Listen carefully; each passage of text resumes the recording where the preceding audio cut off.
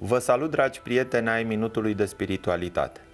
Vom vorbi astăzi, în cadrul serialului de tehnici de respirație, despre exerciții de reținere a suflului.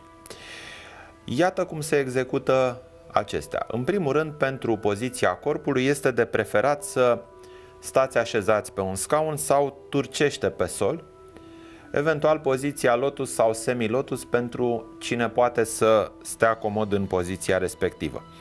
Aveți grijă să păstrați spatele drept și bărbia să fie ușor retrasă, iar centura abdominală să fie sub control.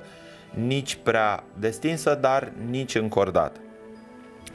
Prima parte presupune o inspirație lentă și treptată. Imediat ce se simte o reținere la nivelul uh, centurii abdominale, care trebuie să rămână mereu ușor contractată. Continuați să inspirați în așa fel încât să absorbiți cât mai multă energie cu putință. Sunt solicitate toate cele trei etajele respirației, și anume etajul subclavicular, sub etajul toracal și cel abdominal. În timpul celor două faze de inspirație și expirație, puteți bloca ușor glota.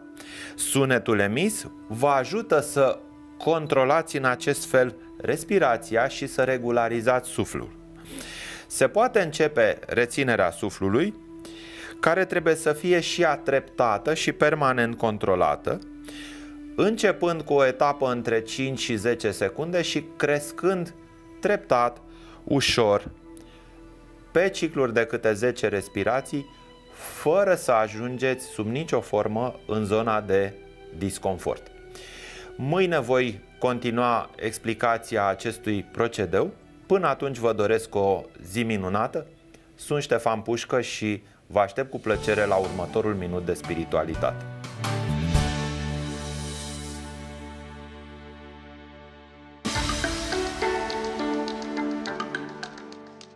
Vă salut, dragi prieteni ai Minutului de Spiritualitate. Vom continua să discutăm astăzi despre exerciții de reținere a suflului. De fapt, mă refer la continuarea a ceea ce vă explicasem ieri. Ieri am vorbit despre inspirație și blocarea scurtă a suflului și astăzi vă voi explica cum se desfășoară această tehnică din punct de vedere al expirației se relaxează progresiv reținerea suflului, păstrând controlul centurii abdominale. Se scoate aerul din abdomen, apoi din torace și în cele din urmă aerul subclavicular pentru a efectua o expirație completă și regulată. Ajutați-vă de sunetul care rezultă prin ușoara blocare a glotei pentru a controla emisia suflului. Expirația este bine să fie de două ori mai lungă decât inspirația. După care, inspirați din nou, așa cum vă explicam ieri, pentru a continua ciclul respirator. Următoarea posibilitate de a face acest gen de exerciții, reținerea suflului însoțită de vizualizare, va fi în minutul de spiritualitate de mâine. Până atunci vă doresc o zi bună, cu spor și să ne revedem mâine cu bine.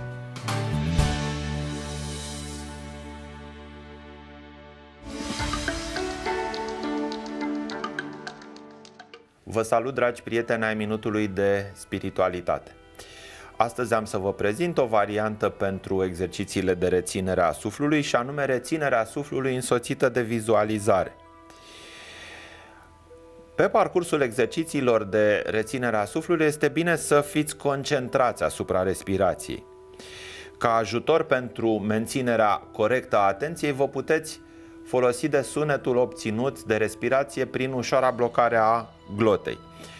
În momentul în care inspirați, imaginați-vă că aerul vă pătrunde în nări și apoi coboară lent pe toată lungimea corpului până la baza coloanei vertebrale în timpul reținerii sufletului, suflului, imaginați-vă o sferă situată între baza coloanei vertebrale și pubis.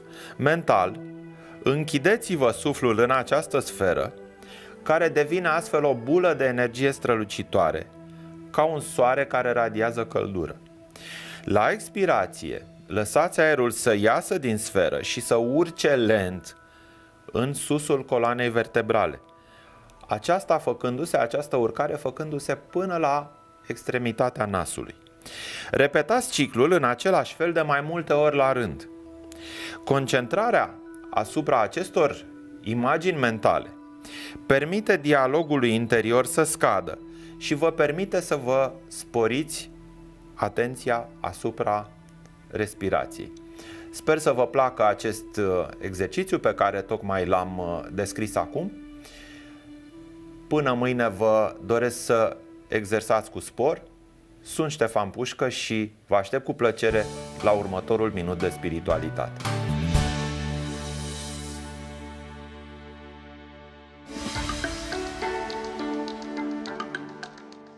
Vă salut, dragi prieteni ai Minutului de Spiritualitate. Astăzi am să vă prezint un exercițiu foarte interesant și foarte util pentru curățirea meridianelor energetice în organismul nostru. El se cheamă exercițiul de respirație alternată.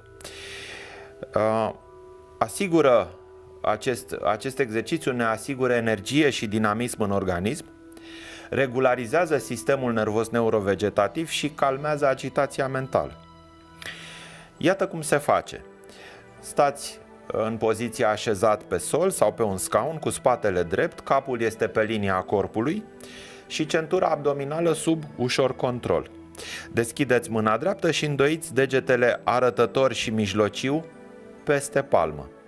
Degetul mare, care este liber, astupă nara dreaptă, inelarul și degetul mic astupă nara stângă. Inspirați lent și temeinic, fără să astupați nările. Inspirați pe nara stângă, astupând nara dreaptă cu degetul mare. Astupați ambele nări la sfârșitul respirației.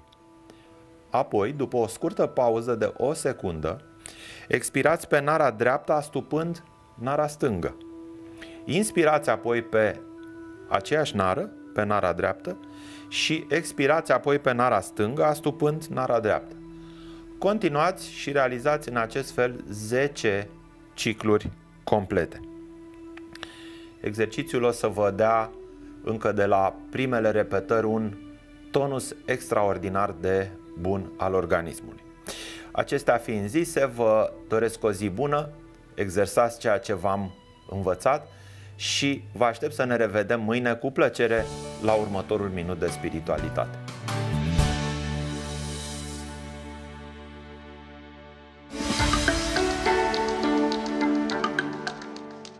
Vă salut, dragi prieteni ai Minutului de Spiritualitate. Astăzi vom realiza o mică discuție despre ritmul respirator. El este de fapt definit ca proporția între diferitele faze ale respirației. Putem să observăm un lucru, că în univers totul este ritm. Cele mai vizibile ritmuri sunt cele ale anotimpurilor, ritmul zi-noapte, ritmul mareelor și așa mai departe. Nici noi, ca ființe vii, nu ne abatem de la această regulă și fenomenele fiziologice care se petrec în organismul nostru respectă și ele anumite ritmuri. Ac- acționând asupra parametrilor unui ritm, acționăm de fapt asupra întregului organism, deoarece în ansamblu aceste ritmuri interioare ale organismului nostru sunt sincronizate între ele. Iată ce exercițiu simplu vă propun ca să învățați despre ritmul respirației. Luați-vă pulsul la încheietura mâinii, palpând încheietura mâinii cu degetul până când simțiți pulsul.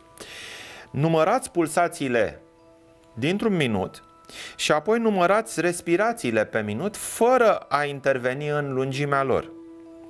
Încercați pe cât posibil să simțiți pulsul inimii, concentrându-vă asupra unei regiuni a corpului unde bătăile sunt mai perceptibile, cum ar fi, de exemplu, mijlocul pieptului, astfel încât să le puteți număra fără ajutorul luării pulsului.